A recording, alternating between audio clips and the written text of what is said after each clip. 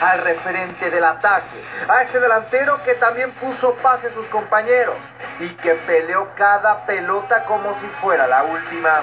Team USA contó con un hombre que está a cinco goles del récord como máximo goleador y que con su 8 en la espalda es sin duda el jugador más peligroso de los Estados Unidos en la cancha.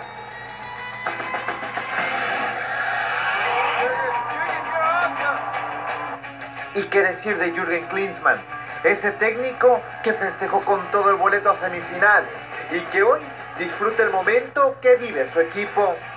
El fútbol está más que vivo en Estados Unidos y Team USA tiene mucha culpa de ello porque puso a soñar a su gente que hoy lo sigue y se ilusionan con ser la mejor selección del continente. Y si no, que lo